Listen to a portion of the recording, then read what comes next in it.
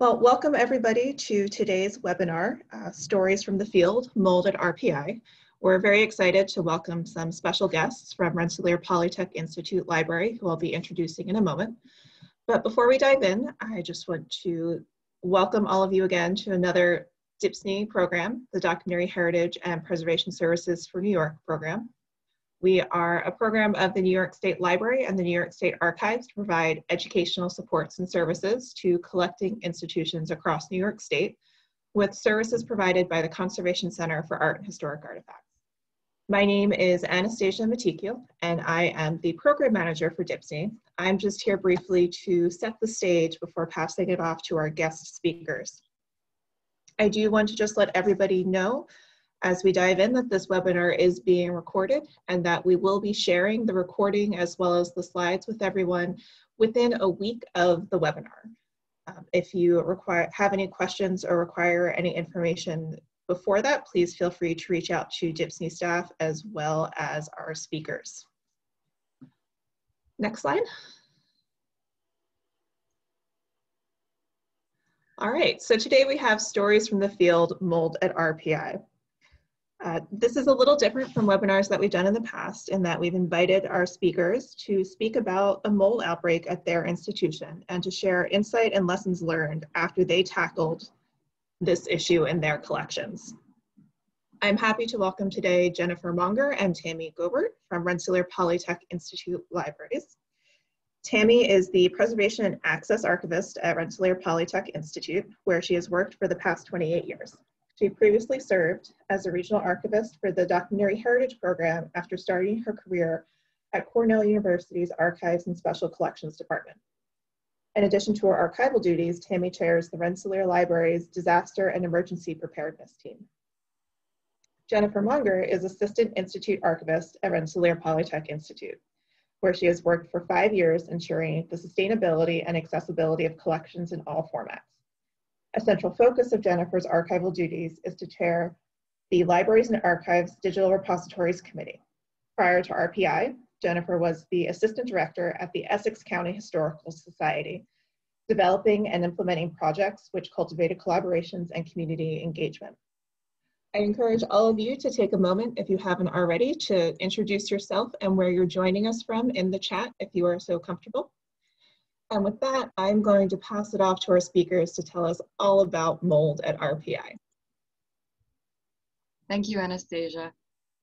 Hello, everyone. So uh, just before we get started, a little housekeeping. You will be muted and your video will be turned off for this webinar.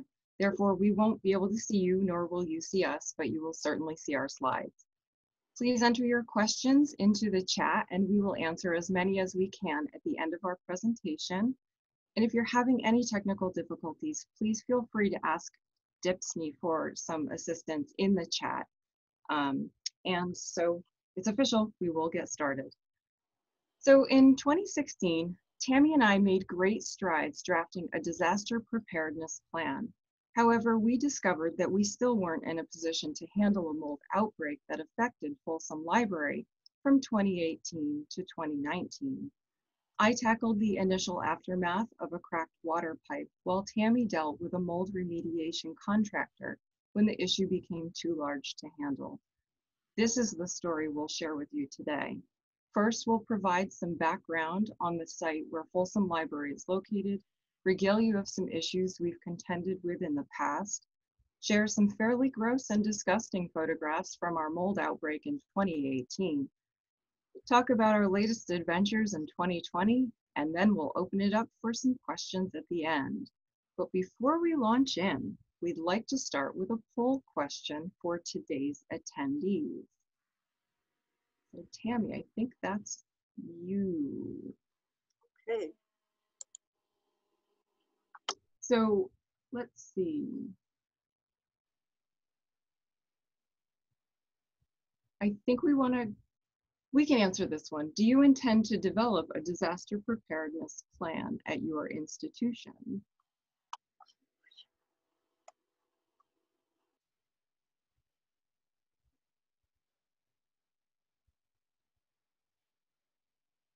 Ooh, let's see.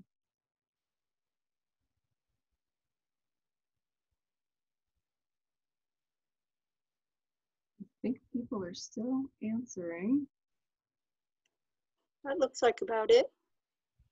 So 16% of our 81 participants, 16% say yes, 10% maybe. Oh, good. 25% we have one in progress. Excellent. Okay. All right. Jen? Yes. So this is the main campus of Rensselaer Polytechnic Institute, located on a hill above the city of Troy in New York.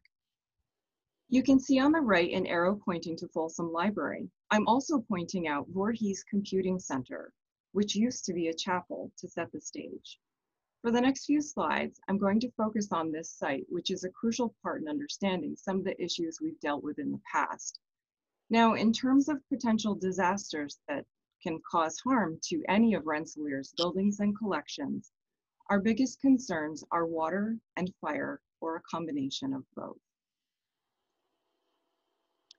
First, let's go back to 1950.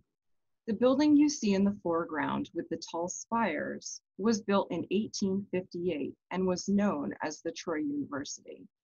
After the university failed, the property changed hands several times and was occupied first by a seminary and later the Sisters of St. Joseph. Over time, the sisters built a separate chapel and later added a connector building uh, be between connector between the two buildings. In 1958, RPI purchased the property from the sisters and renamed the spired portion the University Building. By 1969, RPI decided to demolish just the university building in the foreground to make way for Folsom Library, but they kept the connector and the chapel. Folsom Library construction was completed on the site in 1976. The chapel remained and became the Voorhees Computing Center, it still is, and the connector building, which you see sandwiched between the two large buildings, once joined together the seminary and the chapel, but was later dismantled and removed. Where the connector building was removed, an open plaza now remains. So here is uh, Folsom Library on the left and the entrance to the Voorhees Computing Center on the right. Multiple grates lead to drainage pipes below the plaza's cement floor. And now I'll show you um, what's underneath the plaza. Below the plaza, between the two buildings, lies collection storage divided between the two buildings, which means those drainage pipes run through the ceiling space above the storage areas. The storage space on the left contains RPI student theses and dissertations. This room holds approximately 2,100 linear feet of bound volumes and is monitored by public services staff. On the right is a secure area we call the cage, which houses Institute archives and special collections materials. The cage holds over 4,200 linear feet of paper records, audiovisual materials, art, and artifacts. Altogether, these collections constitute the bulk of our unique and irreplaceable resource, research resources. And it's one thing to show you floor plans. So here are some photographs of the actual spaces to give you all a better sense of the storage rooms. So again, the image on the left is thesis storage. And on the right is what we call the cage, um, where we house archival collections. And now I'll turn this over to Tammy, who will talk about some early issues we've experienced under the plaza. The cage and plaza have suffered from water infiltration and flooding for years. In the cage, water percolates up through old drains that were inadequately sealed when the connector building was demolished. It streams down the east wall, which you can see on the right, and it seeps in along the bottom of the north wall. The thesis room has also had problems. The ceiling leaks in the northeast corner during heavy rainfall. And just to complicate things, the library's HVAC system has caused leaks on the fourth floor. Next slide. Over the years, several attempts have been made to address water problems, including old floor drains have been capped with pressure valves. Cracks in the plaza pavement are periodically sealed. Bollards were installed on entrances to the plaza to prevent vehicles from driving on it. Plastic sheeting has been draped over shelving, and vulnerable collections have been moved out of harm's way. We've also worked with RPI's environmental services staff to repair known leaks. Next slide. Despite these efforts, we've had to deal with a number of ongoing problems, including in 2014, there was a series of leaks over our artifact collection in the cage, as shown in the image on the right. When a maintenance worker inspected the situation, a rusted pipe literally fell apart in his hands. A portion of that pipe was replaced with PVC, and that's what you're seeing on the left.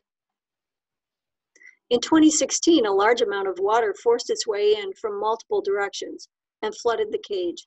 Fortunately, no collections were affected. I think it's fair to say our collections have long been at high risk for water damage. Next slide. Given this situation, you might think the library would have had a disaster preparedness plan long ago, but prior to 2019, we did not. Around 2003, I served on a committee that created a safety and security manual, which focused almost exclusively on dealing with building issues and human safety. The only Information pertaining to collections consisted of a few resources on handling wet materials. Once the manual was completed, it was posted on the library's intranet, never to be reviewed or updated again. I periodically advocated for adding new sections to the manual, but it never became a top priority. So the manual remained limited in scope, and there was never any staff training. After several years, it was largely forgotten. Jen? Fast forward to 2016, Rensselaer Library's new director, Andrew White, asked if we would be interested in an upcoming program through the New York Archives about disaster preparedness planning, sponsored by the local Alliance for Response. AFR brings cultural heritage and emergency professionals together at the local level. Tammy and I eagerly volunteered and started off as a two-person team the director notified staff of our project and asked them to support us as needed. The program was structured as a series of workshops and webinars. We were provided with a series of customizable templates for compiling relevant information for a disaster plan. And we were matched with a local mentor from another academic institution. An important aspect of the AFR training includes watching a series of webinars. They focused on using volunteers in emergency situations, implementing the incident command system, sources of funding, and crisis communications. Many of these webinars can be found online, and I'll include some suggested links at the end of the presentation for you. As I mentioned, a key component to the AFR program was to work through a series of templates designed to help an institution get better organized with documentation in the event there is an emergency. There were too many templates to share on the slide, so I'm only showing what our template checklist consisted of, separated into three categories. Disaster planning goals, disaster plan content, and institutional attachments. Because we were only a team of two, we divided up the tasks. I took on updating the library's floor plans and emergency features, editing the old safety and security manual, and reviewing and deleting redundant recovery documentation, which we found on the library's intranet. Tammy set out to begin the infamous Pocket Response Plan, a template for compiling contact information for a variety of people who need to be reached in an emergency situation. Tammy? I also tackled an AFR template that lists emergency supplies that are important to have on hand. I revised the list and ordered supplies for each floor of the main library, as well as our architecture library, which is located in another building. Some of my colleagues helped sort everything into bins, and we identified suitable storage spaces on each floor. Next slide. Our staff also took advantage of training opportunities. In June 2017, Dipsney held a series of workshops across New York State called Disaster Response and Recovery, a hands-on intensive. Jen and I and four of our colleagues attended the sessions. The program began with an overview of the incident command system and basic salvage techniques.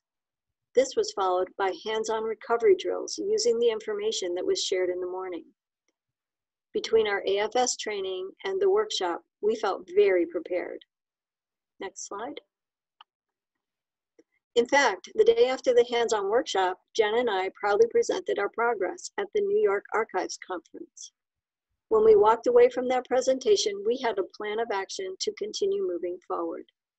Finalize documents based on the AFR templates, establish a permanent disaster preparedness committee, make the plan available accessible to the rest of the staff, organize and participate in additional staff training, and set up a review process to regularly update the plan.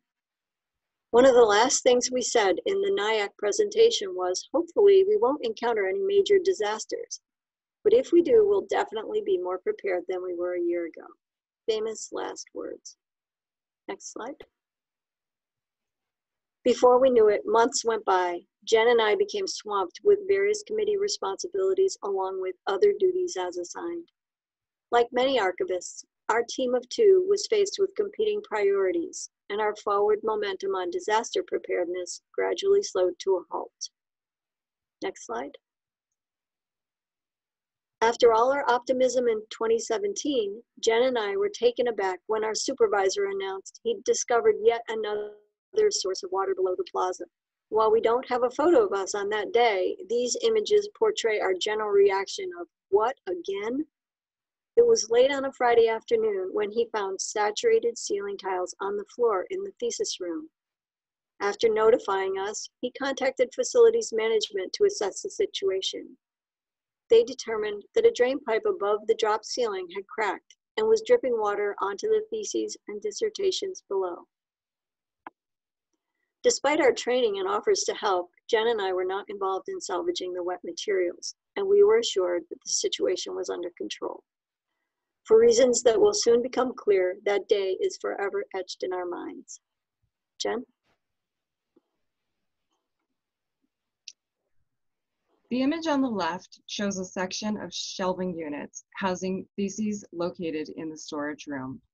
It's difficult to see, but there are three shelving units here. Thankfully, they are located between two doorways and set apart from the other units in the room. The bottom arrow points to where this is located in the storage room.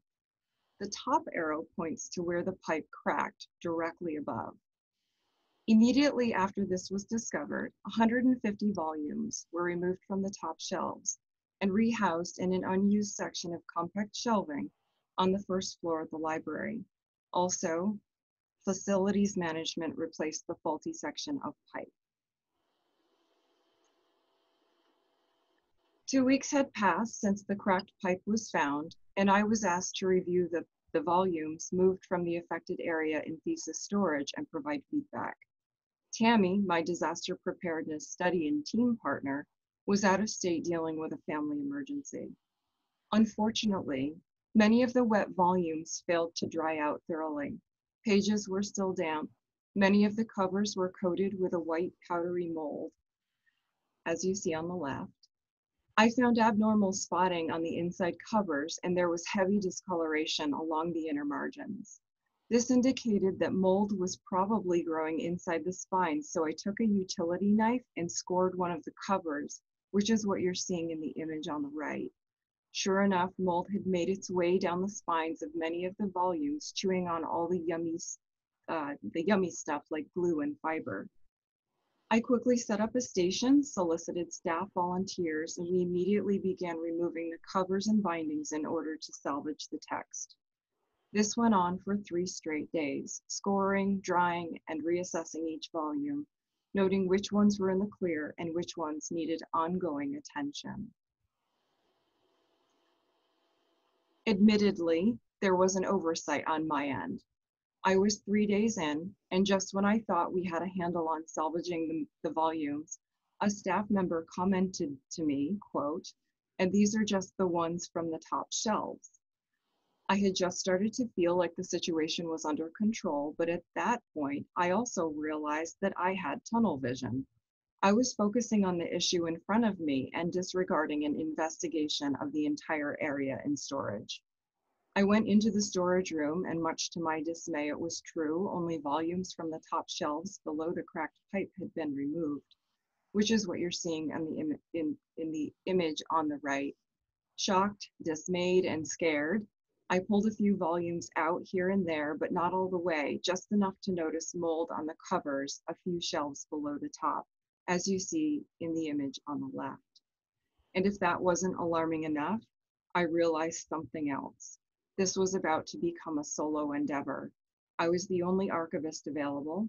Tammy, my colleague, was gone. The Institute archivist was on vacation, and the library director was leaving for Europe. Desperate to confer on next steps, I called our mentor from the AFR training, but unfortunately, she was away too. I knew some of the necessary steps to take, but in all honesty, I was starting to feel intimidated by the situation. I thought I knew enough about mold, its potential health risks, and the fact that it can wreak havoc without anyone knowing, but I wasn't quite sure if I was crossing a dangerous boundary. Even though I knew the clock was ticking and that, and that time was certainly not on my side, I spent two days giving myself a crash course on mold and cultural heritage collections. So here are some fun facts about mold.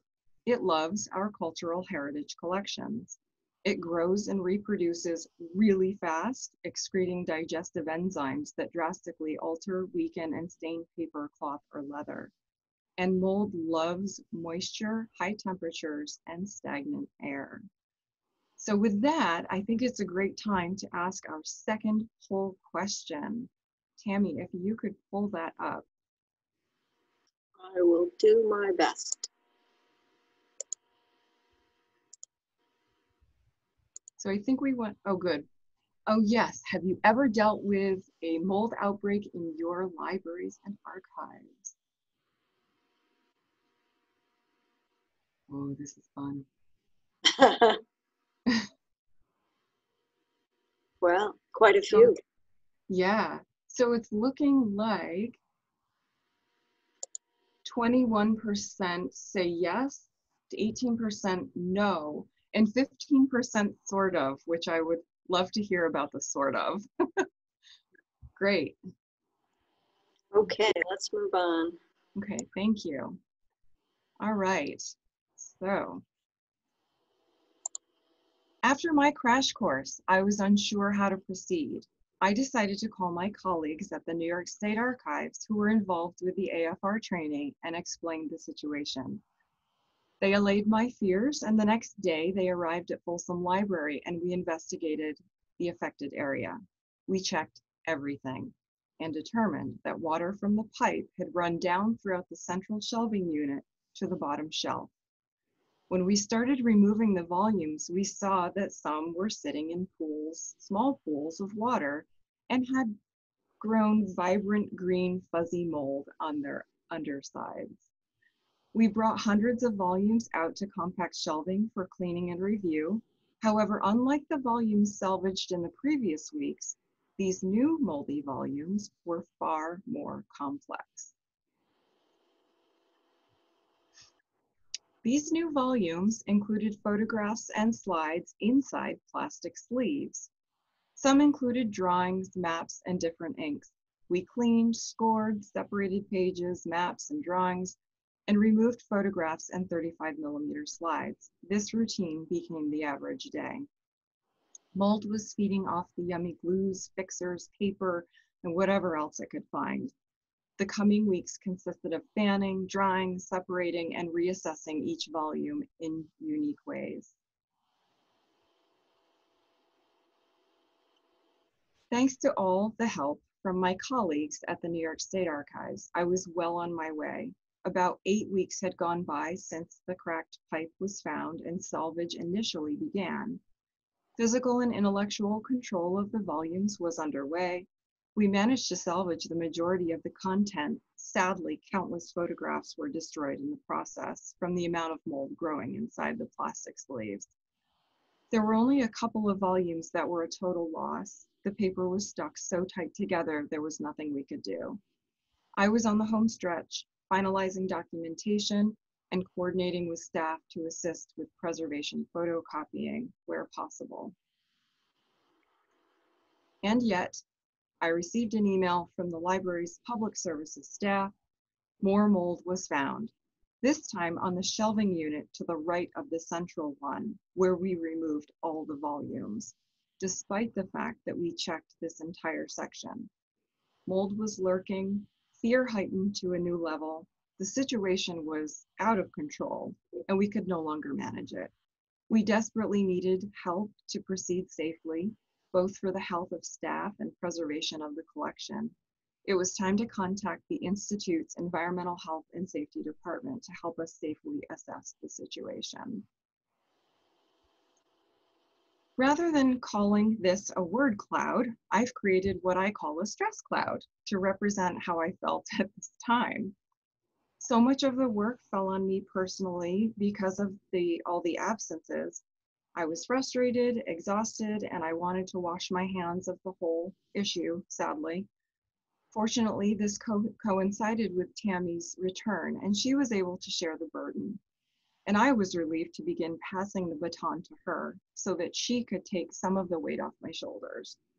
We all work for cultural heritage institutions because we want to safeguard history and preserve records in perpetuity for future generations.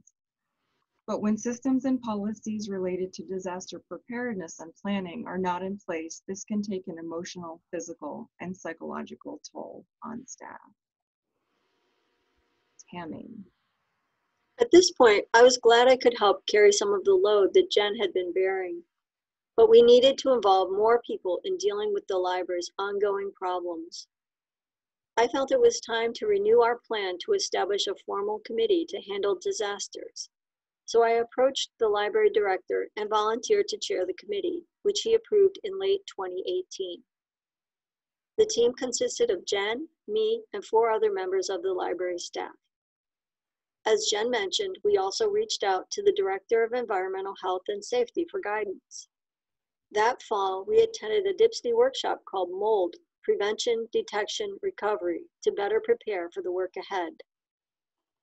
And in the meantime, a member of our public services staff began preparing the rest of the thesis collection to be moved to a safer location.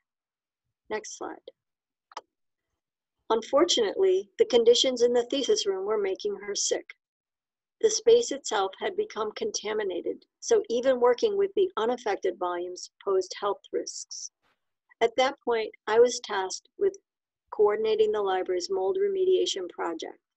This was an altogether new challenge, responding to an active mold bloom at the same time I was charged with developing a disaster plan. One issue was that theses and dissertations are not part of the archive's holdings and it was frustrating to discover that the Institute doesn't consider theses and dissertations permanent records. In addition to my concerns about mold, I felt pulled between competing directions.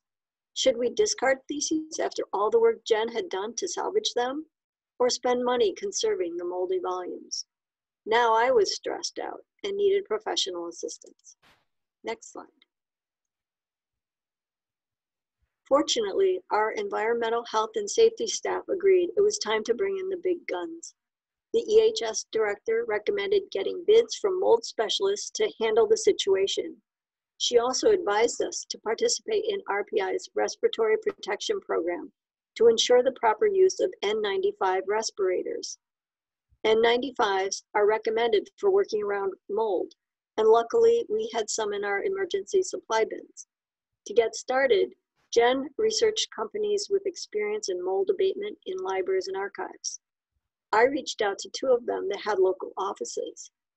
Both companies indicated I needed to consult with an independent industrial hygienist to assess the situation and outline a plan of work. We ended up with a plan that involved two approaches. One was to do intensive cleaning and disinfection of the three sections of shelving and moldy books below where the pipe had leaked. Additionally, the entire room was to be thoroughly disinfected. We decided to discard 32 volumes that were too moldy to deal with on site, but we managed to save the rest of the collection. Working with EHS had the added bonus of having the cost covered by their budget rather than library funds. After lots of planning, the cleanup was scheduled for December 2019, over a year after the initial incident. Next slide. The remediation process was really interesting to observe. A crew of over a dozen workers arrived and worked all day. Some built a containment chamber out of heavy duty plastic that encapsulated the area directly under the leak. The image on the left shows the chamber separating the moldy shelving from the next row of volumes. The zippered opening at the far end allowed workers to enter and exit as they cleaned each thesis before moving it to a clean book cart. They then cleaned every surface with a powerful antimicrobial agent, as seen in the photo on the right. They also ran an air scrubber, the red object in the back of the chamber, to remove as many mold spores as possible. Next slide. Other workers wiped down every surface throughout the room from ceiling to floor, books, shelves, light fixtures, everything. After the crew left, the air scrubbers ran for another day or two, then the hygienist returned to conduct air quality testing. Sadly, the containment chamber failed, and a few workers had to return for additional cleaning. They determined that rust on the bottom shelves was probably harboring mold, so we decided to discard three of them. Fortunately, the retest was a success. Next slide. While all this was going on, the Disaster and Emergency Preparedness Team began its work. Our mandate was to complete a disaster plan by summer 2019. In order to ensure that everyone was on the same page, we started by attending webinars and reading about the process of developing a plan. Luckily, we were able to salvage parts of the old safety and security manual, and we used the documents Jen and I had created using AFR templates. We met regularly, divided the tasks, and in September 2019, we presented the new manual to the director. Our plan is very basic, but this time around it includes lots more information about collections, salvage priorities, and who to go to when something goes wrong. Next slide. After the holidays, we shared our plan at a staff retreat, and we distributed pocket response plans to everyone so they would have contact information readily available in case of an emergency. The prep plan is designed to fold down to the size of a credit card to make it easy to carry around. For added protection, the folded plans fit perfectly into little tie-back envelopes you can order online. In addition, the library purchased more compact shelving so public services staff could move everything out of the mold room. Our moving plan was set to begin in March. Next slide. But of course, that's when COVID-19 struck. On March 18th, everyone except essential staff were required to work from home through the end of the month. We couldn't know it at the time, but our work from home order extended until August with extremely limited staff access to the library. We could do nothing but cross our fingers that no more disasters would occur before we return to campus. Jen? When we were sent home, March 18th of this year, we weren't allowed back in the library unless we received explicit permission from the head of our division, the CIO. There was, however, one RPI Environmental Services staff member, we'll call him Mel, who was deemed essential, and he was in the building on a daily basis. Archive staff worked with Mel a lot over the years. He would assist us with basement issues like extracting water from the cage after a heavy rain. While we were working from home, Mel would occasionally check on these storage spaces for us. On Tuesday, August 4th, I had received permission to enter the building. We were starting to gear back up to be back on campus, and I had to do some office preparation work. As per my instructions, I called Mel to ensure he would be in the building and available to let me in. On this particular day, the capital region was experiencing a torrential downpour, and when I called, Mel was a bit panicked. He stated, quote, there's water pouring over the archives. I asked him where exactly he was seeing water. He said he was in the room with all the bound volumes. That was my immediate clue that it wasn't technically archives, but it was the thesis storage room. Again, I immediately called the library director, got dressed, and went to the library. Sure enough, Mel was right. Water was trickling down from another section of the same pipe we dealt with in 2018. In the image on the right, you see a few shelving units in the foreground that are empty. Those are the shelves where all the moldy volumes were removed in 2018 and 2019. To the right of Mel, who is standing in the doorway, is the newly affected area. The image on the left shows the plastic bag Mel used to try to protect the volumes below from the dripping water above. Thankfully, this new issue was dealt with right away. We can handle wet material. Mold obviously is another issue. And as per usual, water dripped all the way down to the bottom shelf. Mel assisted me with removing all the volumes in this unit, about 250, and I rolled them out to compact shelving on book carts. When Tammy arrived on the scene, we dove right into the emergency bins and grabbed heavy duty plastic, paper towels, clips, and scissors. All handy things to have in an emergency bin.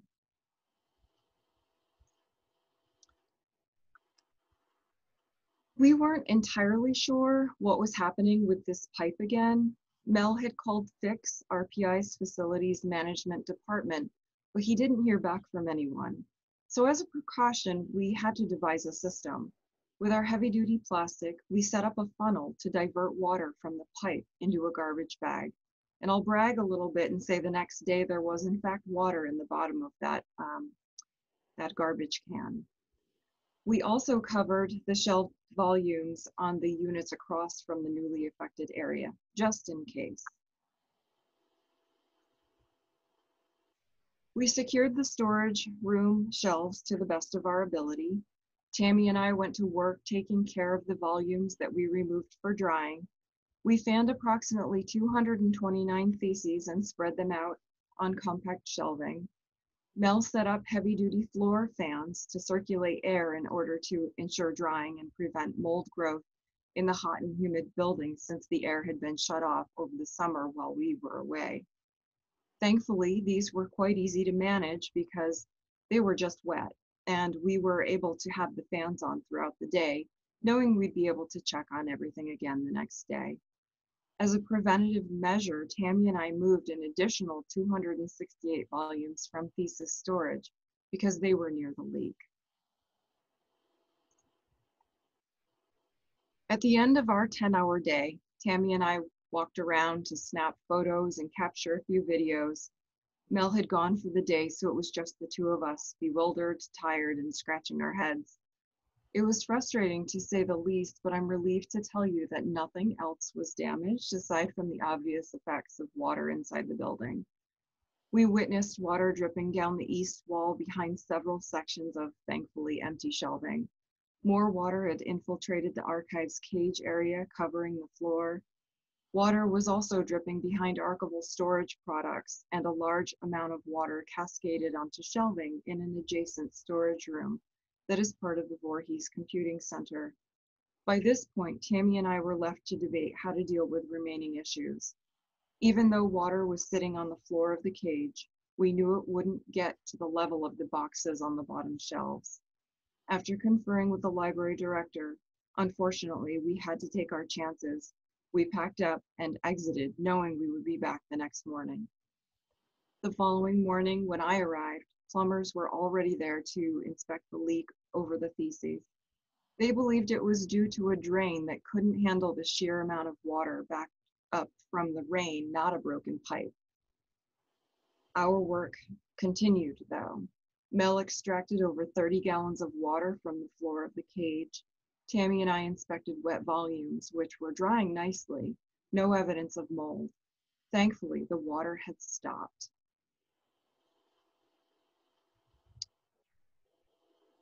This more recent issue opened our eyes to several improvements we need to, we need to make in our disaster plans. For starters, Mel didn't know about the pocket response plan. Granted, that plan was created for us, never anticipating we'd be dealing with water in the middle of a global health crisis. Secondly, Mel, was aware, Mel wasn't aware that we had emergency bins with particular supplies like heavy duty plastic. All he had was a garbage bag to help protect the theses in the storage room prior to my arrival. With all that said, there will always be something we can't foresee. There will always be room for improvement. And lastly, the stress of dealing with these issues will always remain, but what makes the stress easier to handle is knowing your own limitations and accepting them. Tammy. I had hoped that once the library reopened, we could begin transferring the theses to their safe new home. However, our public services staff is stretched thin with new responsibilities, such as monitoring safety protocols and paging materials for curbside pickup. They also serve as greeters, reminding students to wear masks and observe social distancing requirements. I might add that RPI's strict protocols have kept coronavirus infections to six positive cases since August 1st, an amazing feat on a college campus. The archives remains closed to researchers, and we split our time between working from home and in our offices. Consequently, this thesis collection remains vulnerable under aging pipes and a leaky ceiling. We continually seek assistance from our facilities department to address water problems, but budget constraints and COVID priorities limit their ability to take preventive action on the scale that's needed. Next slide. When it comes to mold, the old adage that an ounce of prevention is worth a pound of cure is certainly applicable. If our wet materials hadn't been fanned and fully dried immediately, I'm sorry, if our wet materials had been fanned and fully dried immediately after the leak was discovered, we would not have had to abate a mold bloom. So here are a few takeaways from our experience. Personal safety comes first. Emergency supplies aren't enough. You need a trained team that knows how to respond to a disaster, and the staff needs to know who to go to when an emergency arises. Good communication is essential. It's important to be aware of your physical and emotional limitations. Reach out for help when you need it. Smile and support each other through the process. And be prepared for the unexpected by having a written plan. At this point, we have one final question we'd like to ask you all. Jen, could you uh, start? I think it's poll question number one. Oh, sure.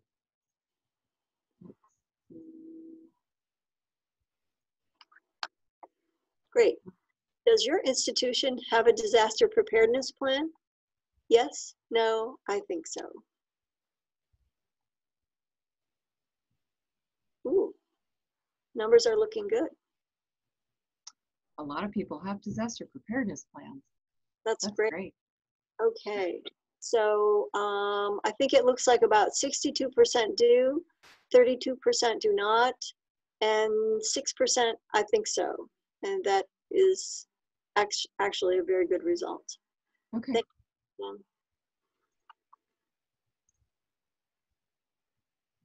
You can end that poll.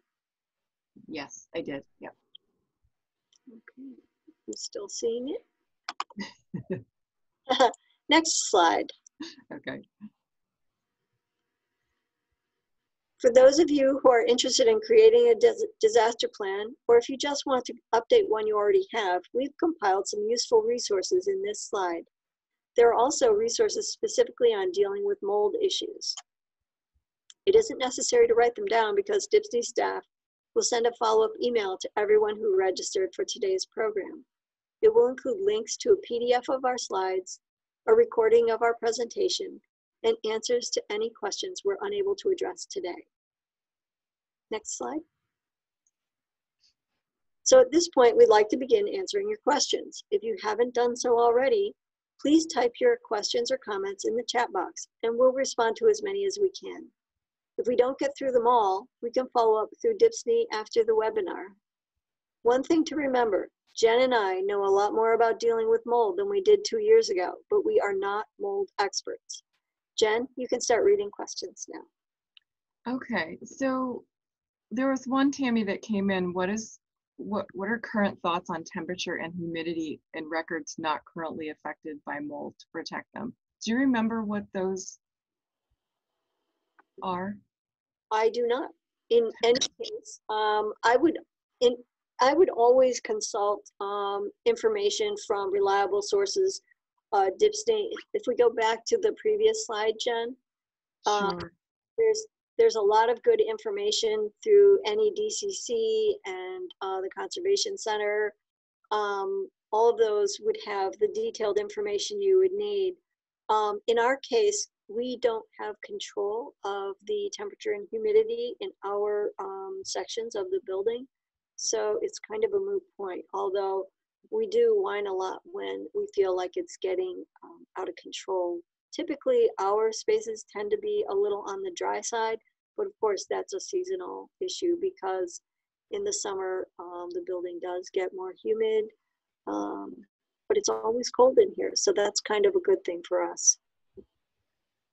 Tammy, another question. Um, were the lights left off after the flooding was discovered? Mold really loves the dark.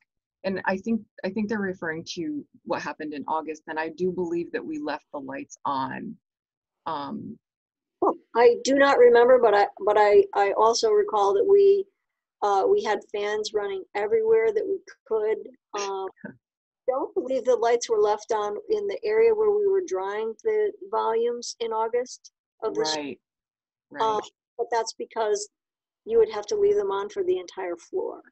right. uh, You know, for a couple shelves of, of books. I shouldn't say a couple shelves, a couple ranges of books.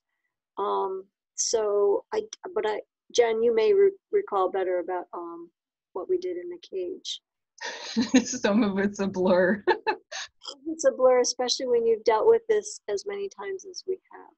But again, because we were able to get all of the moisture out of the room, um, out of the thesis storage room, that is, we weren't terribly afraid of mo- a mold bloom at that point, and we knew we would be back the next day.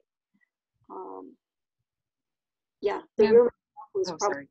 dry. So, uh, other than the moisture on the floor, go ahead. Uh, another question, this is interesting, in regards to the long-term needs of staffing the disaster response team, how do you handle staff turnover? That's a great, that's a really great question. Um, I, I don't know if we have, since we've been plugging away at this, you know, I don't, I don't know if we've really encountered too much of an issue with staff turnover and our efforts. I think I think it's really a matter of just ongoing training, advocating for training um, wherever possible. Um, our disaster team, we've we've had them do some of the DHPSNY webinars, and um, I think we even talked about um, the new upcoming AFR um, series of workshops as a potential for some, some of our other team members. But Tammy, do you have anything that you wanted to add to that? Sure. Um, we haven't had any turnover on the team yet. Um, we're actually approaching our second year of existence, but um, so far, when we returned to work, I asked people if they were interested in continuing on the team, and everyone volunteered to remain on on the disaster preparedness team. So uh, we haven't had turnover yet on the team. We've had certainly turnover in the library, and one of the things that I would like to see us do is more training um, in a hands-on format, but that's not going to happen for at least another year. So, um, and that's due to the coronavirus, not our situation here. But that's that's something we'd really like to do so that we have enough hands uh, if we ever have yet another big um, flood. The good news is we're thinking that um, in November, late November, we might be able to start moving the theses out of that room and at least prevent us from having to salvage yet another set of uh, student work. Um, think that's all I can say about that. Okay. Um, the next question, whoops, it's it's bouncing a little, so my it's um, hard to keep track of. Uh, and I think it's it's more concern during COVID-19. Um, what would you do if you had less staff available due to COVID-19? I am the only staff member remaining full-time. Um, so and I guess sounds like in the event of an emergency, what do you do if you're the only one during a pandemic? Um, that's a really tough question to, to try and answer. And I think I think the hard part when it comes to collections and taking care of collections is human safety comes first. Tammy, would you agree with that? Absolutely. Uh, one, one other uh, comment I would make is that um, part of the um, process of going through the uh, disaster preparedness planning um, part of that process is to try and find where are resources that you can reach out to. So one of the nice things about AFR is that it links people with first responders. So if you have a water disaster, ideally you would be uh, aware of who to reach out to first.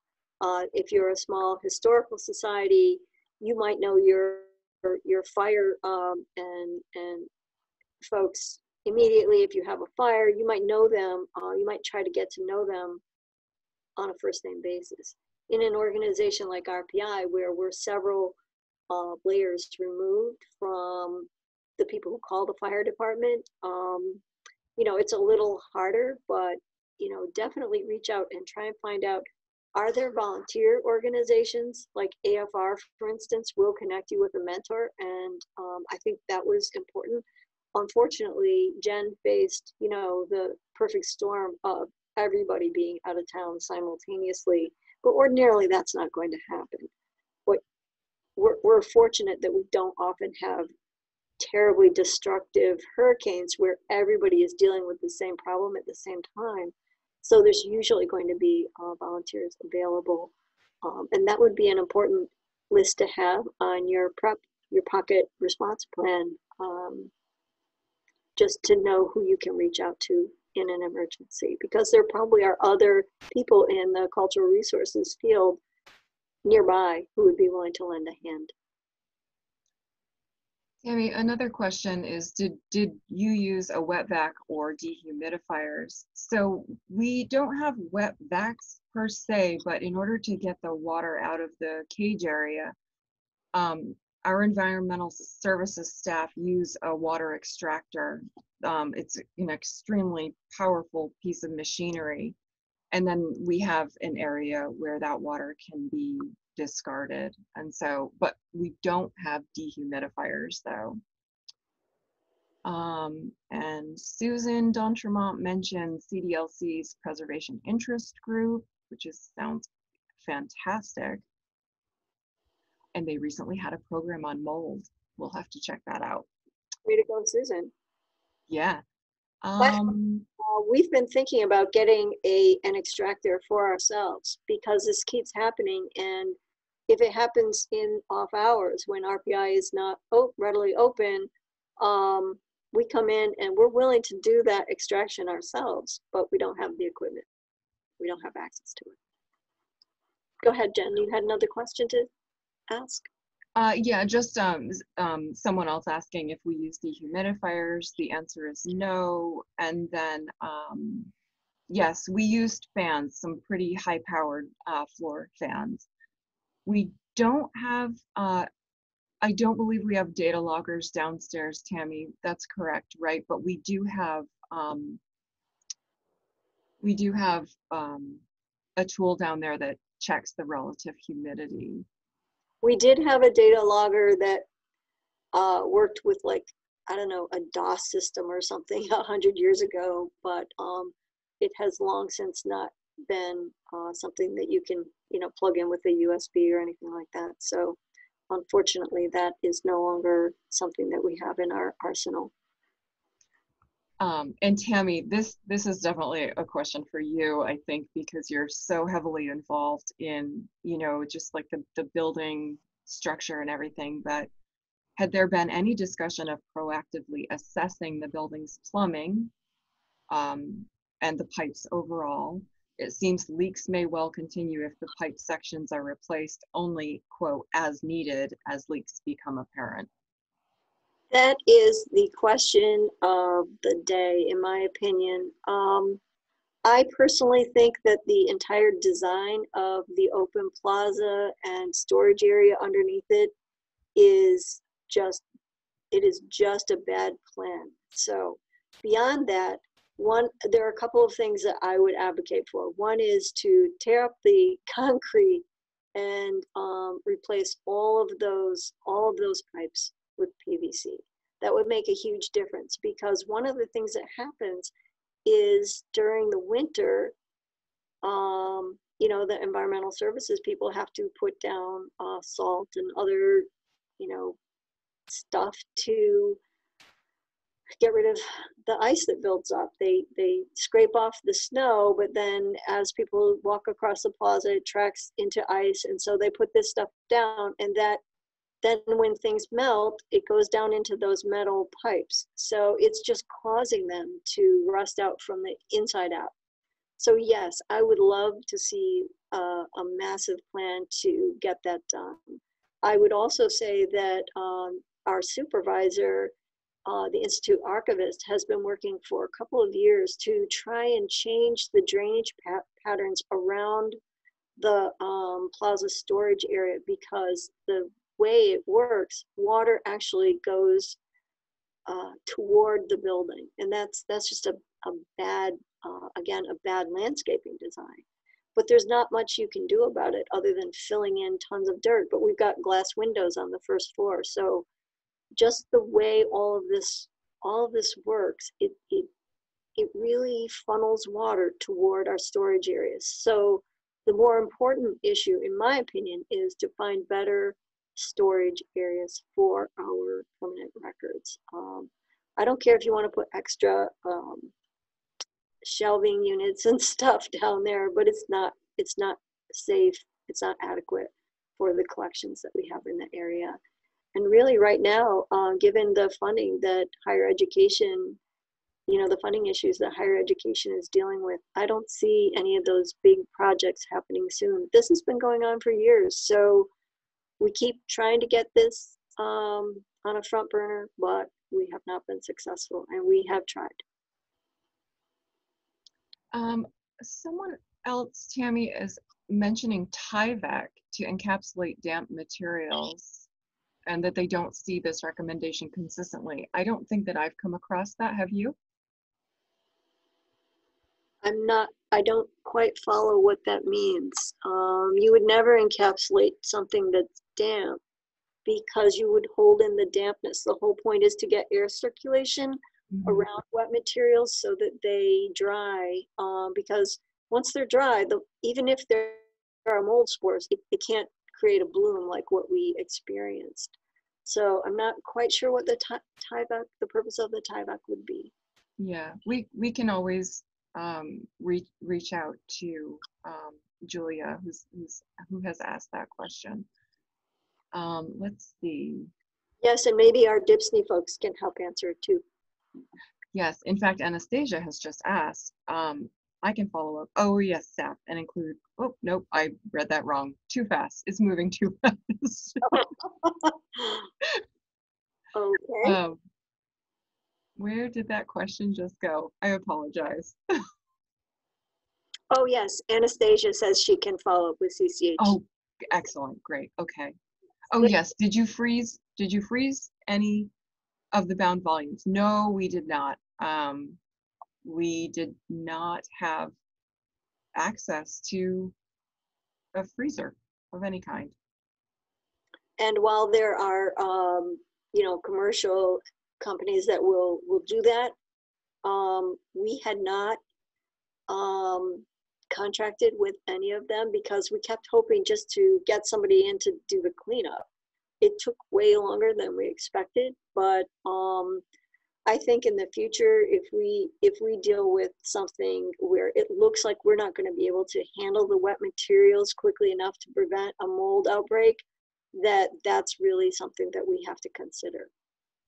But right now, what we're doing is anytime it rains, we're getting somebody down there and fortunately, now that we have um, most of the staff in the in the building on a regular basis, people are checking that that space because it doesn't have to rain for water to start um, coming out of a broken pipe because there's always standing water in those pipes.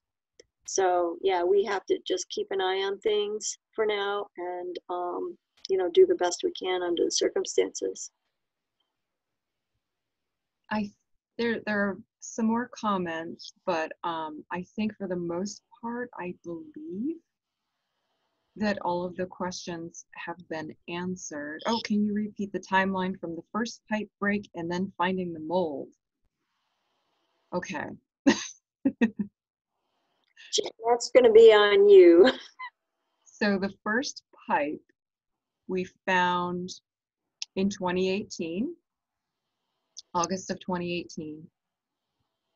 And then,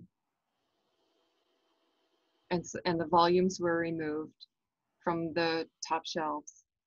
And it was, it was two weeks later that I was asked to take a look at what had been removed. And that's when I noticed mold on the covers of the volumes. And then about three days later, three days ish later, I discovered when I realized that, oh my goodness, I didn't, I did not investigate the entire area. I just had tunnel vision and focused on what was right in front of me. Um, that's when I noticed a little bit more um, down in thesis storage. And then, oh goodness, um, I'm trying to retrace my own timeline, Tammy. This is actually quite challenging. Wasn't it uh, eight weeks between when the you first between when it the pipe broke and when yeah. it was totally out of control? Yeah, so let's see, two weeks, and then probably by the so by the third week, that's when my colleagues from the state archives came over, and that's when we fold the found the nastiest parts, and we we moved more theses out to compact shelving, and then um, by week eight, what had remained on some of the other shelving units that we had checked and we thought they were in the clear, that's when we found more mold. So yeah, we're talking about a, an eight week period. I hope that was helpful. And then it was another year after the that final step when we were able to get the uh, remediation team in. And boy, did they clean that room fast. It, it was pretty amazing. Um, really quite amazing how how effective they were. Let's see. Managing mold guidelines. Mention the use of Tyvek briefly as a short-term means. I wonder if what that means is to segregate the moldy stuff from the clean stuff, but I, I don't know. Hmm. It looks like there's some links in there in the chat that people can follow. Yeah, and I'm not sure if we mentioned this, but uh, Tammy and I will be sent this chat thread, and if we've missed anything, we are happy to follow up. And okay, I think something else came in, but um, it might be for someone else. Nevertheless, um, I'm getting the sense that there may not be any more questions. I- Um, just like to add a comment myself. And one of them is that as a follow-up to our, um, you know, the problems that we encountered in August when we weren't in the building, we now know that we have to share our pocket response plans with the folks who are on the um, environmental services staff. We thought about it in terms of our own staff, but since we weren't in the building, it was it is now important to be thinking, okay, what if, what if, what if, and so um, we've started putting those together for the environmental services staff.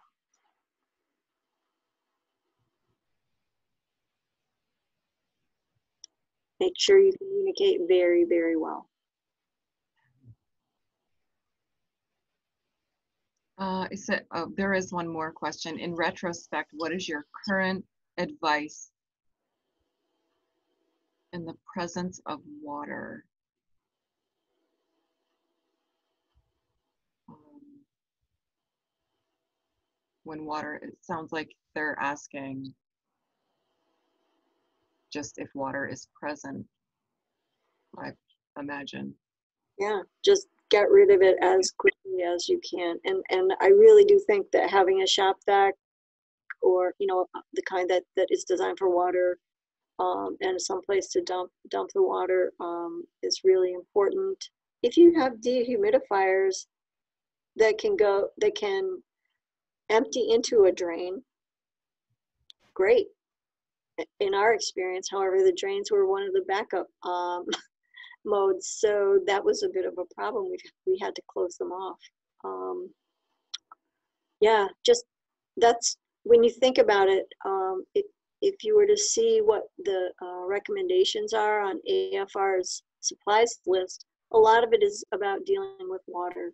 Whether you have a fire or almost any other kind of emergency, water tends to be the big issue. So having lots of rags, having lots of paper towels, um, having caution tape so you can section off an area to protect people. Those are all really important things to have on hand because water is um, one of the major reasons that there are that there's damage to collections, and we've certainly experienced it. Um, we've actually, in some cases, been very lucky that we've had minimal damage, regardless of the amount of water that's come in.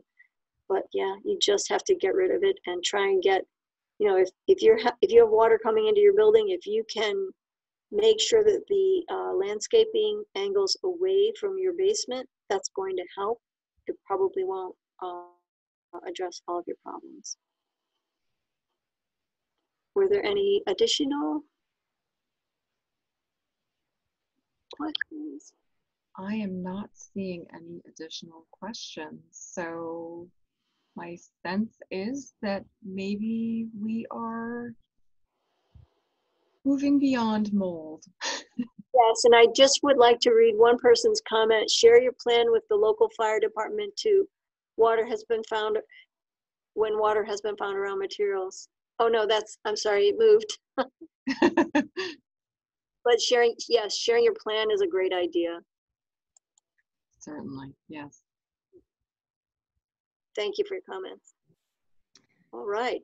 I believe that, yeah, we've uh, probably exhausted the Q&A. Yes, indeed. And please so, don't have a building like ours.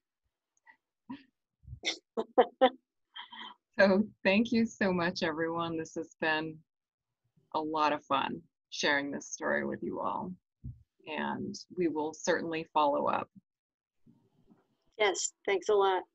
And I just want to quickly say thank you to Jen and Tammy for sharing with us this crazy adventure that you've been on over the past many months. Um, also recognizing that when we first started talking about this program, part of the story hadn't even happened. The August issues hadn't even, I think, begun when we were lining up this program. So it's a growing story. Yes, Anastasia, I remember when you asked me, and it was two weeks later, I said, Well, have I got a story for you? well, thank you so much for taking the time to share this story with us. And as we've said throughout the webinar, we'll be following up with a number of resources as well as the slides and the recording by next week, about a week from today. Um, and I'm already working on answers for the Tyvek question as well, so we'll include those in the follow-up email. Thank you. All right. Thank you, Anastasia. Thanks, everyone. So. Bye-bye.